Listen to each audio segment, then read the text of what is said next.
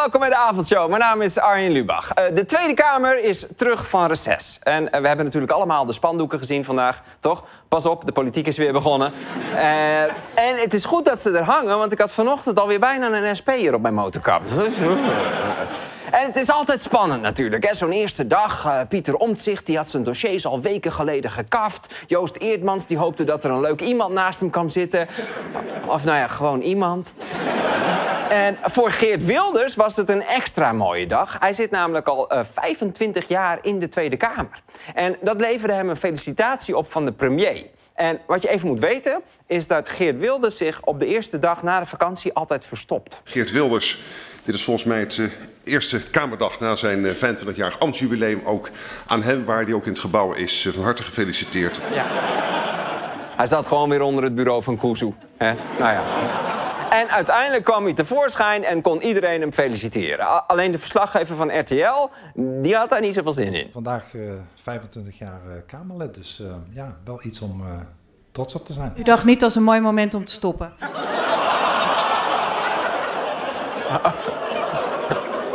Oké. Okay. Oké, okay, die komt niet op mijn tienjarig huwelijksfeest. Lang zegt, Tia, moet je niet eens gaan scheiden? Wat? Rot op, joh. We zijn zeer verheugd met de geboorte van ons tweede kind. En je dacht niet, ik douw hem terug? RTL Nieuws? Wat? Kamervoorzitter eh, Vera Bergkamp die had een cadeautje voor Wilders, namelijk een zilveren koetsje. En dat is uh, blijkbaar traditie. Maar, maar wacht eens even, zo'n koets. Laat nog eens zien. Even zoom nog eens in. Ja? Iets verder nog. Zoom nog eens iets verder. Die, op de tafereel. Nee? Niks? Oké, okay, jammer. Nou, had gekund. Um, ja, je weet het niet. Je gokt dus wat. Uh, wat ook hoort bij zo'n uh, eerste... Ik zie toch helemaal veel mensen teleurgesteld zijn. wat, wat ook hoort bij zo'n eerste dag, dat is vertellen over je vakantie. Goedemorgen. Goedemorgen. Heeft u nog een beetje van de vakantie kunnen genieten, een beetje kunnen bijbruinen... of was het vooral hard werken voor de verkiezingen? Ja, wel iets minder kunnen bijbruinen dan uh, de bedoeling was. Ja, minder dan de bedoeling was. we kunnen wel even kijken wat de bedoeling was. Dit was vorig jaar.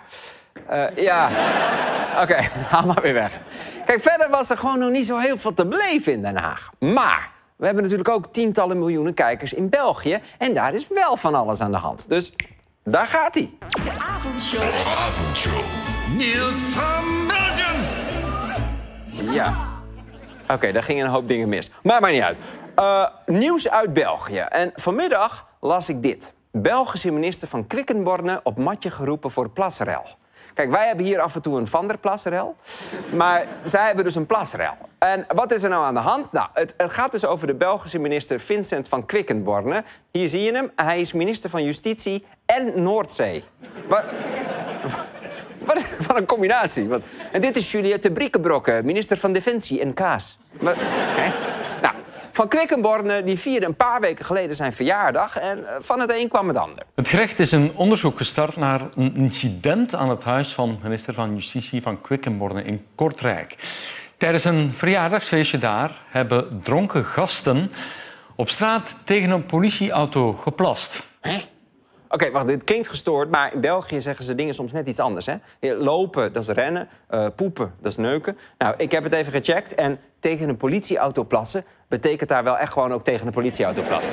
Dus dat is niet zo fraai voor een minister van Justitie. Zeker omdat dat busje daar stond voor zijn veiligheid. Hier, die leegstaande combi, dat is dat politiebusje... staat voor Van Quickenbornes villa als afschrikmiddel... na een eerdere vereidelde ontvoeringspoging. Het is heftig dat hij bijna is ontvoerd, maar wel geruststellend dat boeven daar al schrikken van lege politiebusjes. Dat is heel tof. Maar hij gaf dus een feestje. Uh, hier zie je een foto van het feest. Uh, dresscode was diversiteit. en. En, ja, en zijn uh, vrienden die hebben die avond dus tegen het politiebusje geplast. En, en toen kwam dat naar buiten. En toen zei Van Quickenborne... ik heb niks gezien. Maar gisteren meldde de VRT ineens dat zij de camerabeelden van die nacht hebben bekeken. En er is meer geplast dan we dachten. Op politiebeelden zou te zien zijn dat er wel drie keer tegen die combi wordt geplast. En dat Van Quickenborne zelf om vier uur s morgens ook in beeld komt, al lachend plasbewegingen maakt en zelf de deur van de combi opent. Hij maakt lachend plasbewegingen. Hoe ziet dat eruit? Ik heb maar één keer een plastende bel gezien en dat was een heel klein bloot ventje. En die bewoog juist helemaal niet. Maar vanmiddag nieuwe ontwikkeling. Van Quickenborne heeft zelf ook camera's hangen... en hij beweert dat hij geen plasbewegingen maakt. Dus, hou je vast. We gaan kijken naar een minister... die op zijn laptop beelden laat zien... waarop hij zelf om vier uur s'nachts met zijn dronken harsers voor zijn huis staat... om te bewijzen dat hij geen plasbewegingen maakt. Maar rond 3 uur 59 zie je dat ik samen met de, de, de gast aan het wachten op de taxi eh, aan het spreken ben. En dit zou kunnen worden geïnterpreteerd als een bepaalde beweging. Dus ik leun achterover. Zeg het maar. Wa- Was het een plassende beweging? Ik, ik weet het niet. Maar het fijne is, ik hoef hier godzijdank niks van te vinden... want België ligt buiten mijn satirische bevoegdheid. Dus los dat lekker zelf op. Tot zover! Avondshow. News from Belgium. En dit was vandaag. Straks gaan we koffie drinken in Rusland. En Iris de Graaf is de gast. Maar eerst nog even...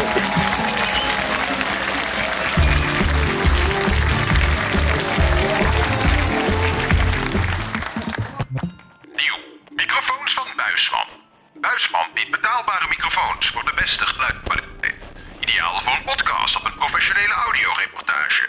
Door uitsluitend gebruik te maken van tweedehands onderdelen worden wij onze producten betaalbaar en duurzaam. Microfoons van Buisman.